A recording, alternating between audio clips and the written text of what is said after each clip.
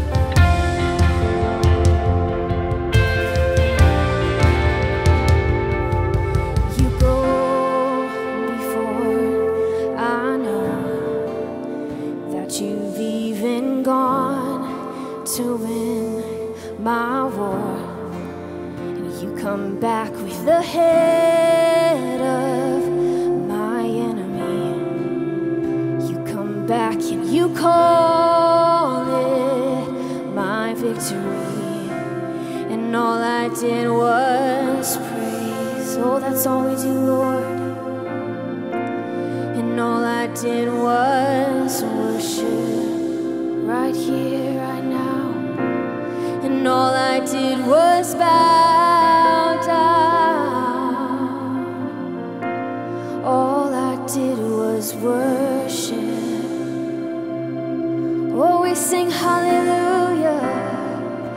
flying high.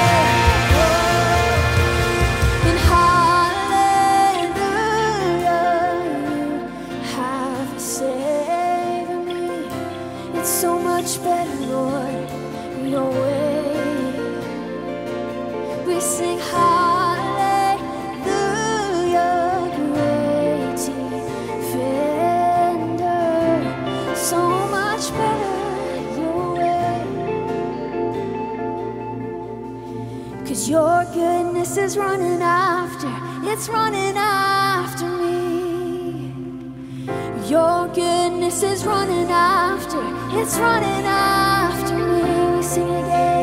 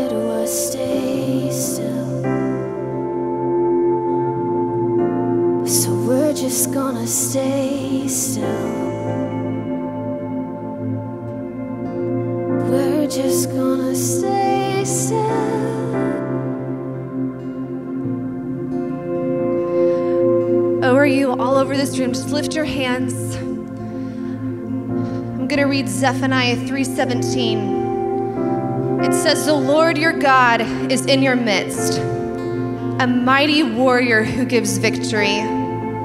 He will rejoice over you with gladness. He will renew you in his love. He will exalt over you with loud singing."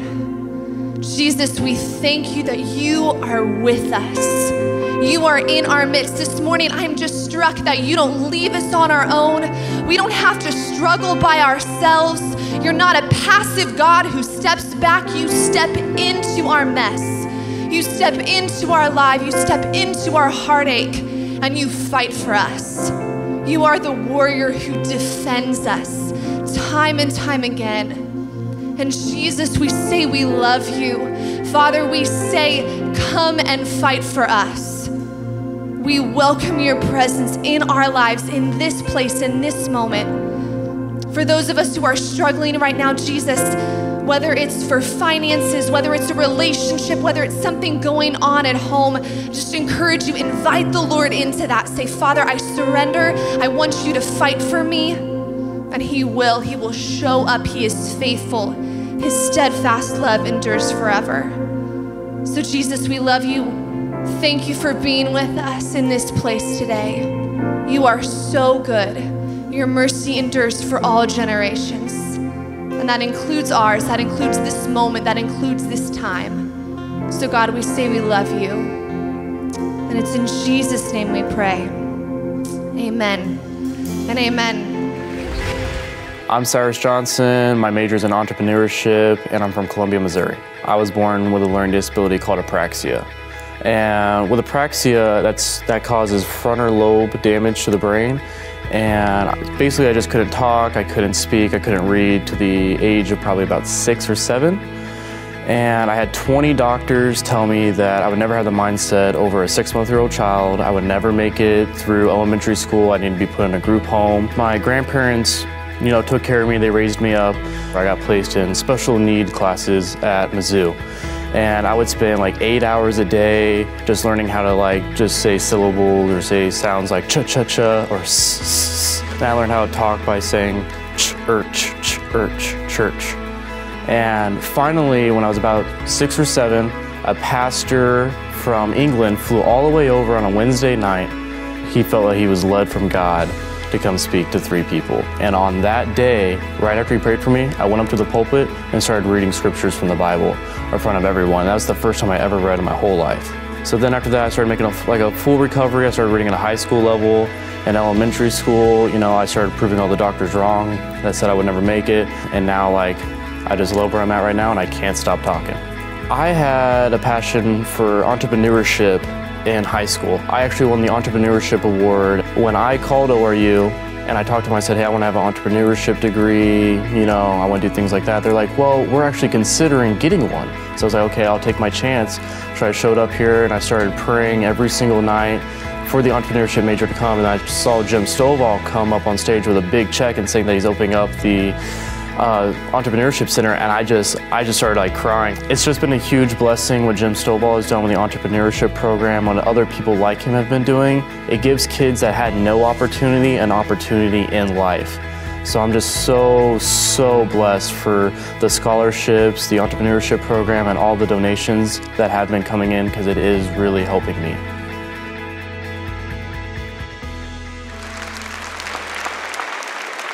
We're very, uh, very delighted to have with us a special guest to speak to chapel uh, this morning. Tony Suarez is a sought after speaker, author, and serves as the chief operating officer of the National Hispanic Christian Leadership Conference. That's the country's largest Hispanic Christian organization, serving more than 40,000 congregations in the U.S., as well as thousands of churches abroad. Through his role as COO, Pastor Tony regularly meets with members of Congress, the White House, and speaks at events where the voice and participation of the Hispanic community in America has been requested. His greatest passion is preaching the gospel. His ministry is known for bringing hope and healing to countless people. He is a regular host on TBN, and his television program, Faith Alive, can be seen daily on Christian television across America and around the world. Suarez's recent book, The Triumphant Church, examines how from century through century the Christian church has faced insurmountable obstacles, yet has continued to thrive. He's also the author of Use Me, Lord, published in 2012. Tony and his wife Gina, who is accompanying him today, welcome Gina to ORU, her first chapel, I think, here. Welcome her today. They have five children together and they live in East Tennessee. Oh, ORU, let's give a warm welcome to Tony Suarez. Hallelujah. Thank you, Dr. Wilson. Would you clap your hands to the Lord today? Because I believe a spirit of revival is about to hit ORU in this chapel service. You brought a Pentecostal evangelist to chapel service, and we're going to have camp meeting. Amen. You can be seated. I'm so honored to be with you today. Thank you. So glad to have my wife with me. The last time I came to ORU, I had just gotten engaged like three days before I came to preach here. I wasn't spiritual, like I didn't have the mind of Christ. I was just thinking about getting married. But now it's been like two years, so like now I'm spiritual again. No, I'm kidding. But I'm thankful. Uh, Gina and I, Gina was married to a wonderful man named Corey McCool. They pastored in Michigan, and 11 years ago, Corey passed away from colon cancer and left Gina a single mom of a five year old son and a one year old daughter.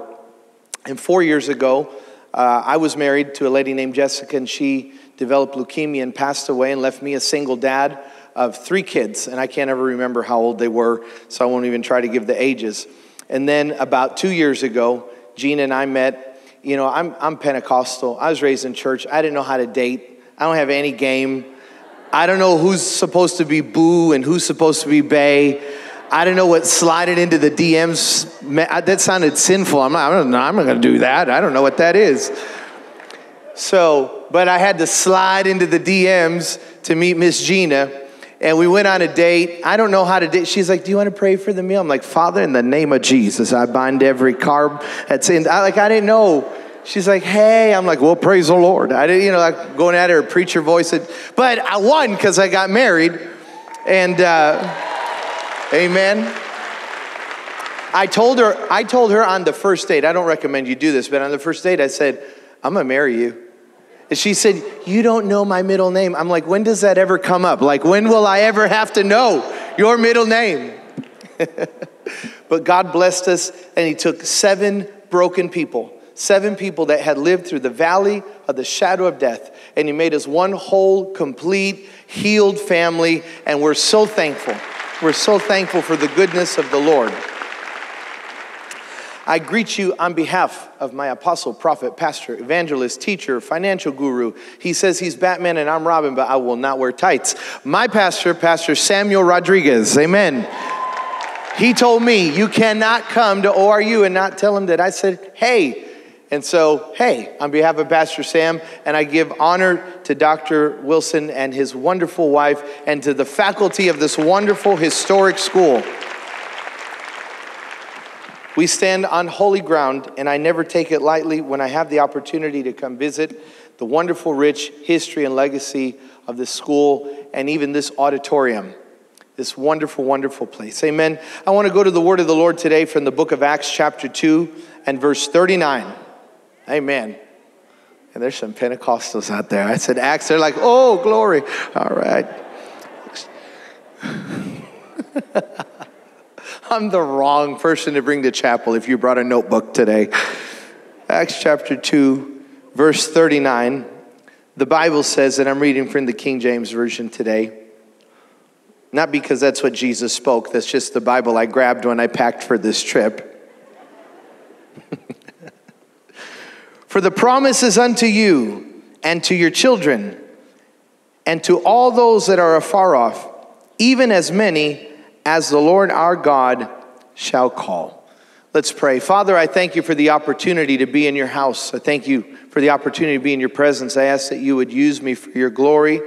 I understand that without you, I'm absolutely nothing, but I ask that you would empower me one more time to speak your word. Open our ears to hear, our hearts to receive, and our minds to discern what thus saith the word of the Lord. And I ask that today you would confirm it with a mighty move of the Holy Ghost, that when we go back to our dorms, our classrooms, or our homes, we'll say, Surely we have been in the presence of Almighty God. And I ask it in the wonderful name of the Lord Jesus Christ. And everybody said, Amen. I want to quote for a moment a sermon that a mentor of mine named Morton Bustard preached uh, in 1999, just the first two minutes of that sermon, because I've never forgotten it.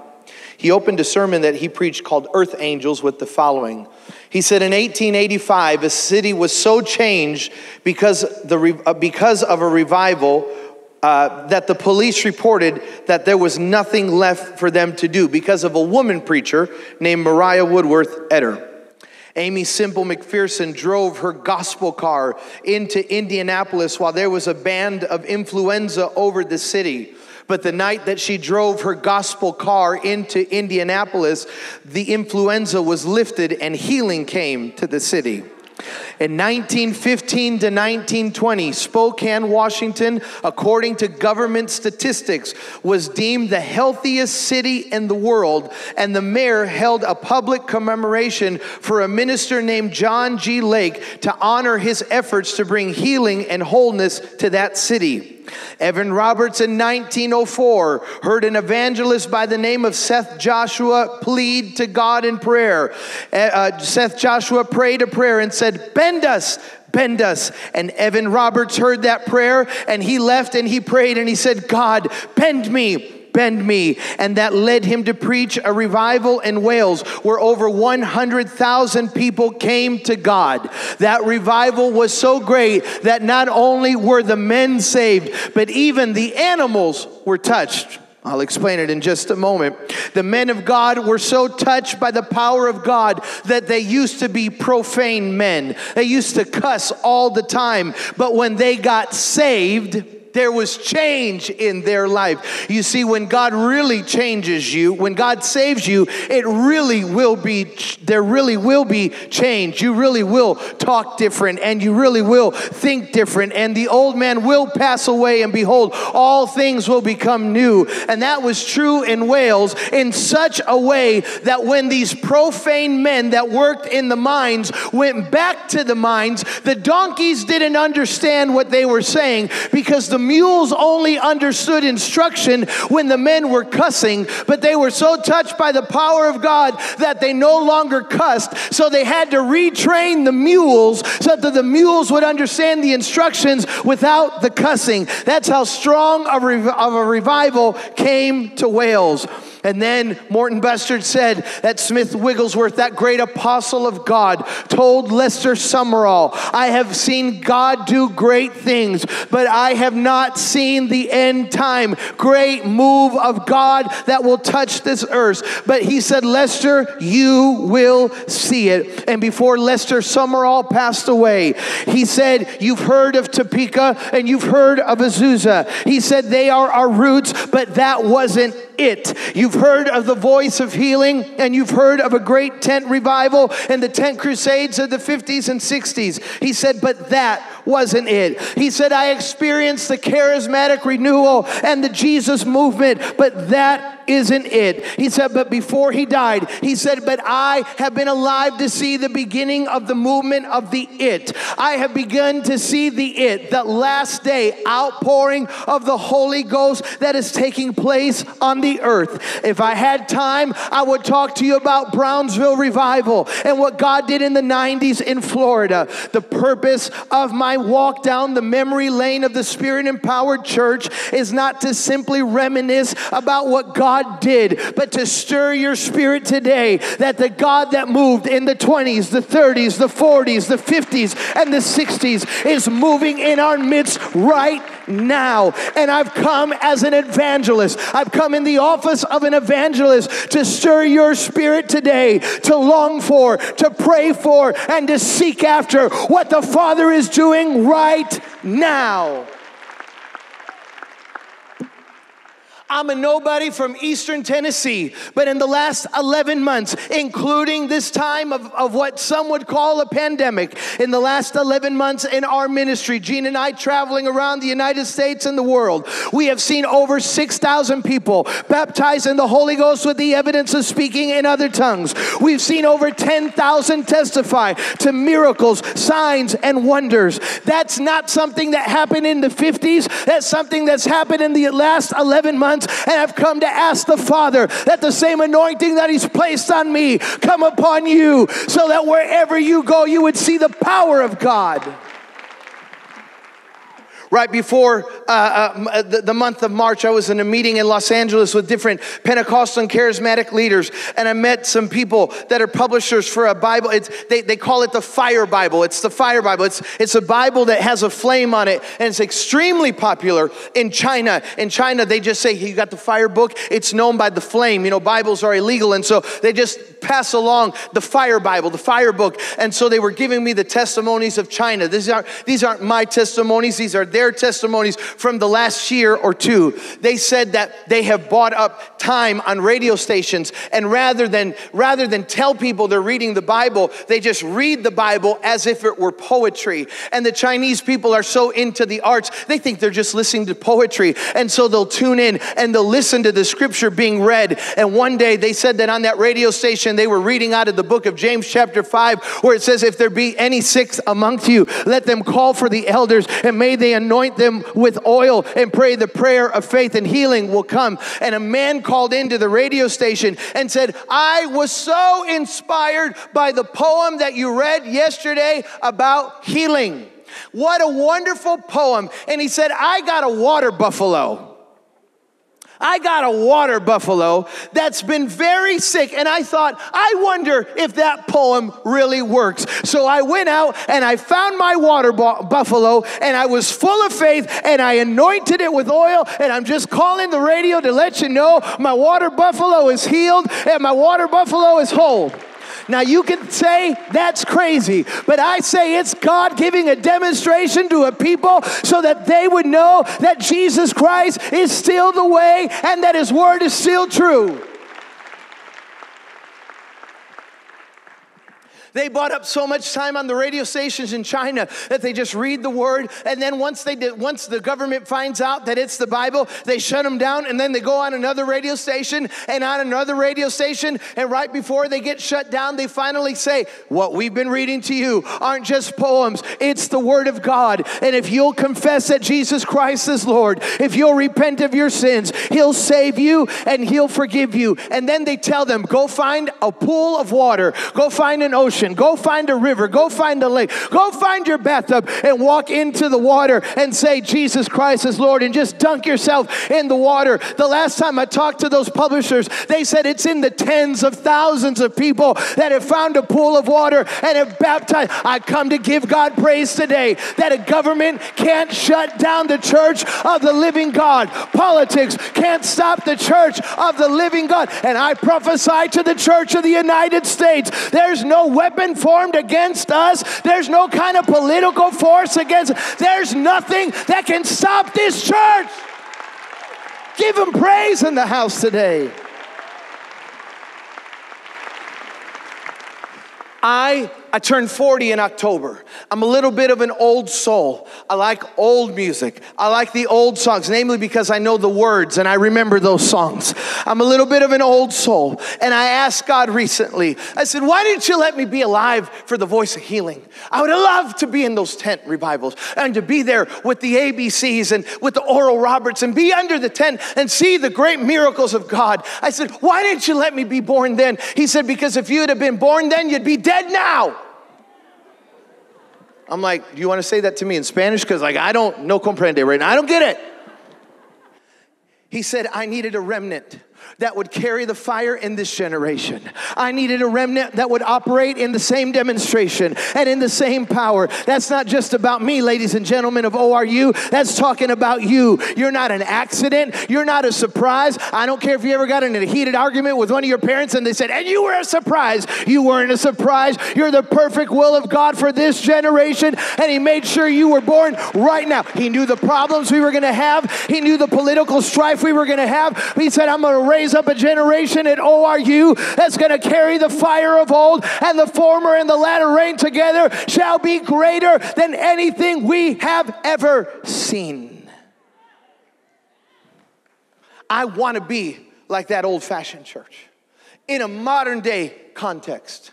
But to be that church, I have to be full and stayed full. I need to be filled and I need to stay full of the power of the Holy Ghost. I want to be like that church of the 20th century, like that church of the first century.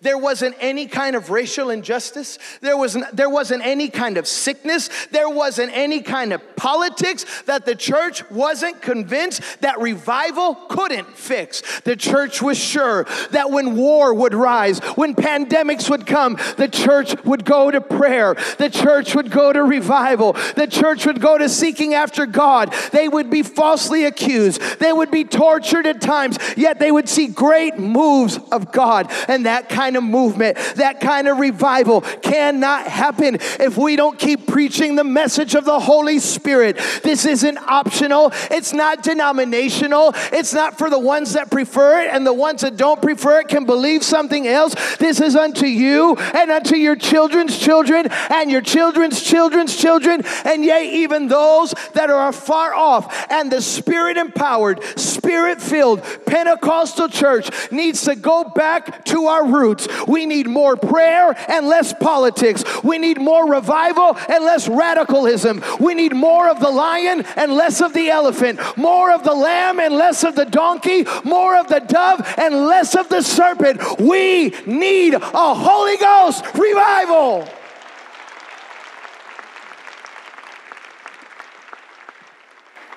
I'm almost done, partially because I can't breathe.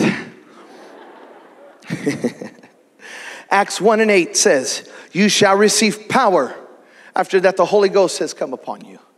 The Amplified Version says, You shall become capable, efficient, and mighty. I like how that Amplified Version reads. It helps me with my insecurity. It helps me when I don't feel like I can make it or like I'm that it helps me when I don't feel like I'm qualified, when I don't feel like I'm good enough to be used of God. This tears down every stronghold of condemnation and insecurity because you're right. I'm right. We weren't good enough. We weren't qualified, but the Holy Ghost qualified us. The Holy Ghost has made us capable. The Holy Ghost has made us efficient. And through the power of the Holy Ghost, we're now joint heirs with Christ to the promises of God the Father. We have access to the throne room, the cattle on a thousand hills, all the gold, all the silver, all the power, all the might, because He filled us with the Holy Spirit to operate and to walk in demonstration, power, and victory through the power of the Holy Ghost. I, I, I, I got three, I, well, I used to have three now. I got five kids at home. My greatest fear, my greatest fear is that I somehow don't pass down this message of the Holy Ghost to my children. My grandmother passed away. She was 93 years old. My grandmother passed away last week in Colombia. She was a mighty woman of God, 93 years old. She was preaching to the doctors. Uh, and, and she, we thought, we thought she had dementia the last two years. But when the doctors would come in, if something was off, she'd like go into the Holy Ghost. She'd be like, mm, mm, hold up, before you touch me, I bind every spirit on, the inside of you. I rebuke it. Okay, now you can take care of me. Or like grandma. Like I wouldn't go around her without like praying a sinner's prayer first. But my, my, my grandmother's legacy in Colombia is that she used to wobble onto buses. When she was 40, she'd walk like she was 90. She'd wobble onto the buses. And she'd get onto the bus and she'd put her little token in the, in the box. And then as soon as she'd get on the bus and they close the door, she'd wait for them to close the door. After they close the door, she'd turn around, repent, ye generation of vipers. She'd start preaching and they'd say, You got to sit down. She'd say, I'll sit down when I finish preaching. So let me finish. And she'd walk up and down the bus. You need to get that cigarette out of your mouth. You need to, get, you need to throw that bottle out. You need, and she just, I mean, it's old fashioned. I'm not saying we do that anymore. You get sued nowadays. But she just go up and down the bus, preaching, laying hands, prophesying, rebuking devils. That's, that's my heritage. I don't, when, when I would go to Colombia as a, as a kid, as, as a teenager to go visit my grandparents, my grandfather passed away 21 years ago. I'd go visit my grandfather. When I'd get to, when I'd get to Bogota, he'd sit me down and he'd say, Tony, let me see your knees. And I have to roll up my pant leg and he'd touch my knee and he'd say, You don't pray enough. Now, I know that sounds legalistic, I know, but I love, you know, we're Colombian. It's okay. We extra he'd say, You're not praying enough. And then he'd pull up his pant leg and he'd have these big fat calluses on his knees. He said, You know what that's from? He said, Because I pray for you every morning. Every morning I'm on my knees. Now, granted, there's no carpeting and all of that in Colombia, especially back in those days. So he had an excuse. My favorite thing is see, my dad was as zealous as my grandfather. And my dad was a prayer warrior. And you know, as teenagers, you know, you remember when you used to argue with your parents?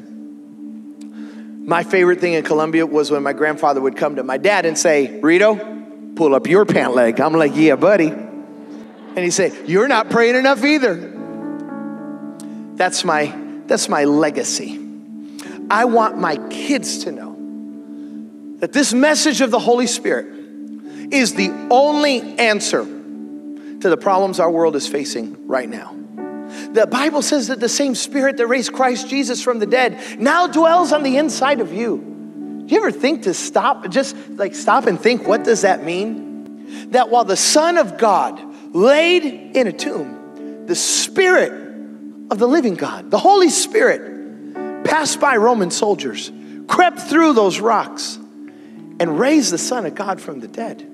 If the Holy Ghost can raise the Son of God from the dead, Imagine what the Holy Ghost can do in your life. I prophesy you're coming out of poverty, you're coming out of insecurity, you're coming out of suicidal thoughts, you're coming out of every tormenting thing that the enemy has brought against you. You're coming out with resurrection power because of the Holy Ghost. Because of the Holy Ghost. You, you and I are the temple of the Holy Ghost. The Bible says the gates of hell shall not prevail against the church. An old friend, a wonderful woman that had a huge impact in my life. She still travels the world. She's 87 years old and strong, 87 years young and strong. She's preached chapel for you before, Bishop Ann Gimenez. Bishop Ann and I were talking about the church and we were talking about the Holy Ghost. And she said, Tony, have you ever, have you ever considered that when Jesus said the gates of hell shall not prevail against the church, have you ever considered what he was talking about? I said, What do you mean, Bishop? She said, Tony, he was talking about you. She said, Because you are the temple of the Holy Spirit. This wasn't about a denomination, a corporation, or an organization. This was about you and I, the temple of the Holy Ghost. So when Jesus said that, he was talking about you. He's talking about your future marriage or your current marriage. He's talking about your family. There's no devil in hell that can withstand the power of God that's on the inside of us. Would you stand with me in this room?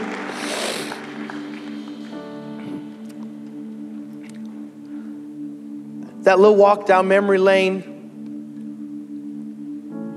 And what I'm trying to convey to you today is for this reason our world needs revival, our country needs revival. The enemy's only weapon, he really only has one, is deceit. He is the father of all lies and the enemy lies to us and says, We've never been down this road before. That's a lie from the pit of hell.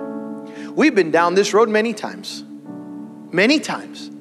And the church is what always brought us out of it with revival, with prayer, with consecration. Consider the subject of racial injustice for a moment. A move of the Holy Ghost is the only thing that has ever united humanity. The book of Acts, chapter 2, in an upper room. What brought them in one accord was the promise of the Father. And then it spilled into the streets, everyone hearing their own language, everyone gathered in the same city. Holy Ghost united them. 1901, the Holy Ghost falls in Topeka in Charles Parham's Bible College, and it falls on a young lady. But there's a black, blind preacher who they won't let in the door. So he's sitting outside the window listening because he's he is determined.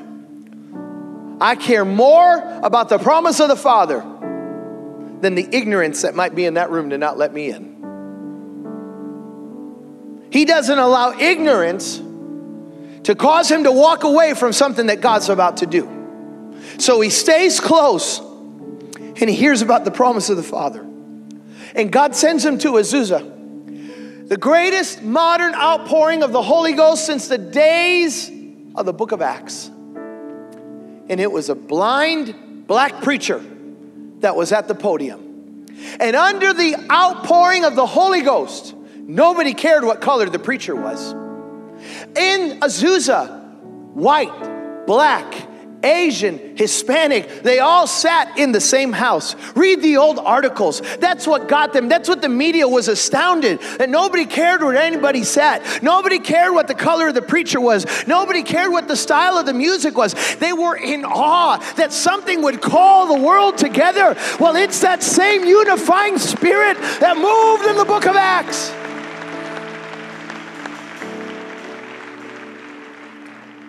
Our historians would remind us, yes, Brother Tony, but they divided over race in Azusa. Oh, yes. Once they let politics in, once they let titles in, and everybody got upset about who's this title and what group are you from. So we had 300 denominations get born out of one move of God because we got consumed with us rather than Him. Uh, Tabasha. But every time the people of God would come together again, seeking a move of the Holy Spirit, God would bring us back together. When the Voice of Healing movement began, there was a rope that would separate where Caucasians sat and African Americans sat. But then the Holy Ghost inv- invaded those tents. It, it invaded those tents, and at some point, the Oral Roberts and the A.A. Allens and the other Voice of Healing heroes said, Get those ropes out of our tent. Get those ropes. We don't care where anybody sits as long as we sit under the fount of God. As long as we sit under an open heaven, I don't care where you sit. We just want to sit under the glory.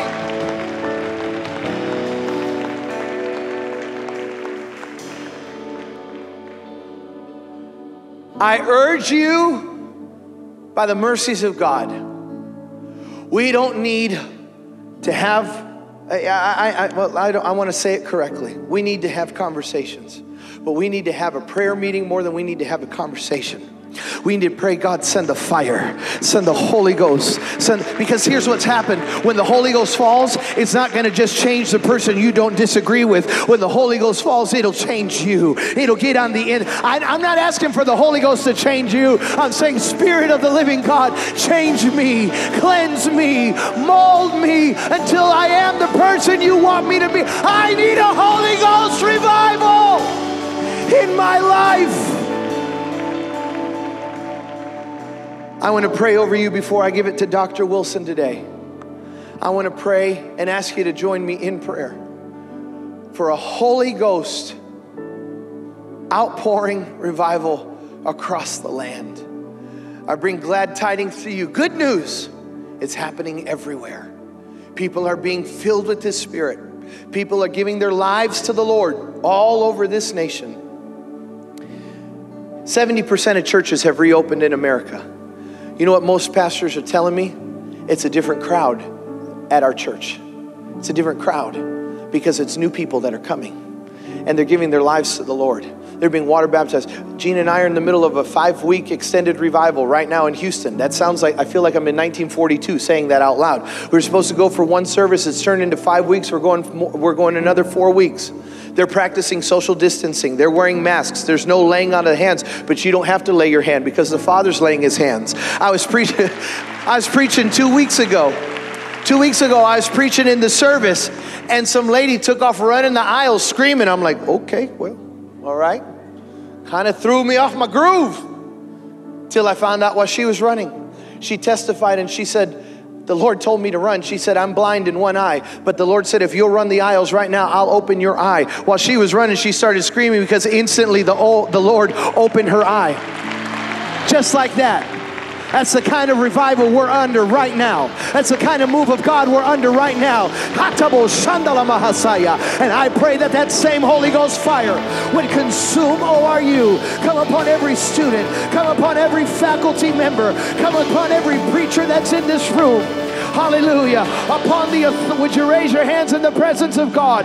Upon the authority of the Word of God and the power that's in the name of Jesus. With all authority that God has given to me, I say, heavens open up and rain down Holy Ghost rain over every student, over every person watching. Let Holy Ghost revival hit this nation. Holy Ghost revival hit our world. Holy Ghost revival hit our government. Let them come to the feet of Jesus by the tens of thousands. Let them be slain in the Spirit. Let them be water baptized. Let them speak in other tongues. Let them be full of the joy of the Lord. And if there be any sick amongst us today, in the mighty name of Jesus, be healed, be delivered, be restored now in Jesus' name. Give God a shout of praise in this house. Give God a shout of praise in this house for what He's doing. Hallelujah! Hallelujah! Hallelujah! God bless you. God keep you. And may you have the greatest revival. Job chapter 5, verse 22. We laugh in the face of destruction. We laugh in the face of famine. We laugh in the face of COVID. We make a mockery of the attack of hell because we're living our greatest days right now. Give God praise one more time. Praise the Lord.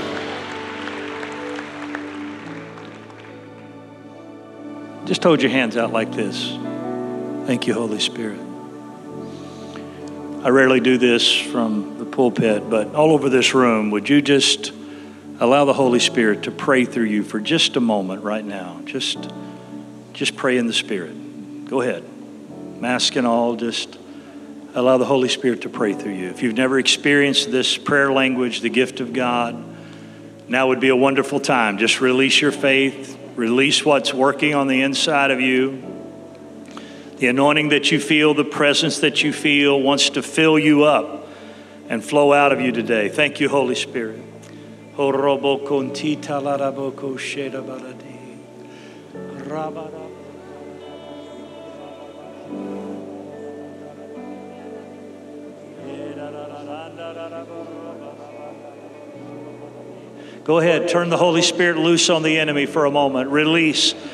Release the Holy Spirit from you against hell, against darkness, against fear, against everything that He's brought against you. Just release, release your faith and release the power of God out of you today.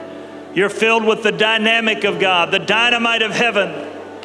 And no weapon, no weapon will, will be able to prosper, and the gates of hell cannot stop you if you're full of Him. Greater is He that is in you right now, in this moment than he that's in the world. Thank you, Holy Spirit. I bless you today all over this place, from the very top seats, Lord, to the front row of the Mabee Center. We welcome you, Holy Spirit, at ORU. This university is built on you, Holy Spirit. And so we welcome you. It's, it's 2020, and here we are. And we're crying out that we welcome you in our day, in our generation, to do your work to do what you've always done bring life where there's death, and healing where there's sickness, and favor where there's disfavor, and victory what looks like defeat. Bring, bring what you've always brought. Do it among us in our generation. In Jesus' name. And everybody shouted. Come on, and everybody shouted. Amen. Let's give God thanks for the ministry of Tony Suarez again. Thank you, Tony. Go change the world. Amen. This has been a presentation of Oral Roberts University, a world renowned and fully accredited Christian university with more than 100 undergraduate majors and minors, as well as graduate degrees in business, education, and theology. Want to advance your career or can't move to Tulsa? Then ORU has what you need with convenient online undergraduate and graduate degree programs. Don't wait! You can experience ORU's unique whole person approach to learning and graduate empowered to succeed. Visit us today at oru.edu. Make no little plans here.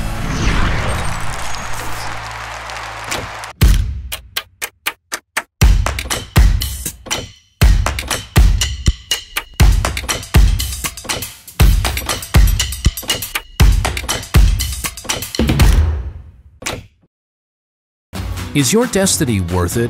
That's really the question you're asking yourself. But the bottom line is, what are you willing to do to make your dream happen? You may not even have a dream yet, but the truth is, you have a destiny, and it's your job to achieve it. And that's where we come in. Forbes calls Oral Roberts University one of America's top colleges. U.S. News and World Report considers us one of the best value universities. The Travel Channel calls us stunning. Princeton Review says we're a best in the West and the Huffington Post says ORU is one of the friendliest universities in the country. We're building spirit empowered whole leaders for the whole world. The kind of leaders who are just as comfortable in Shanghai, London, or in small town America. That's why 99% of our grads are employed or in graduate school within six months. It's also why students from more than 100 nations call ORU home. So, back to the original question Is your destiny worth it? The choice you make about college will echo for the rest of your life. It's the place so many people feel they grew the most, started lifelong relationships, found their purpose, and discovered who God called them to be. Your future should begin at Oral Roberts University because you don't take chances with your destiny.